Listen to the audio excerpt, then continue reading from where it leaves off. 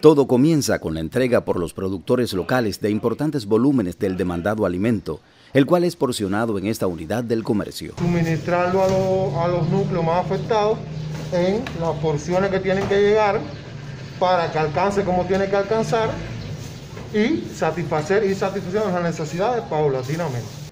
Luego de este complejo proceso en el cual se observan todas las normas higiénicas, este mismo equipo sale a la comunidad previamente definida por el Consejo de Defensa Municipal.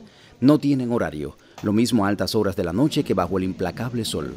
Entonces, el protagonismo es del grupo de mensajeros integrado por federadas, trabajadores sociales y jóvenes del destacamento 60 aniversario. Toda la comunidad se moviliza alrededor de todos los que están aislados unos 2.000 núcleos familiares han recibido este servicio que comercializa la libra de carne de cerdo a 20 pesos y con el que se pretende beneficiar a todas las áreas estratificadas.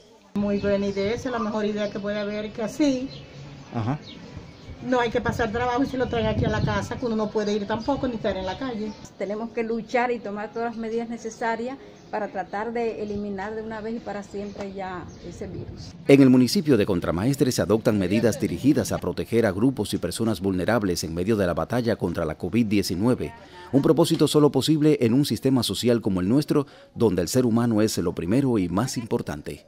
Ricardo Chacón Rubio, Sistema Informativo de la Televisión Cubana.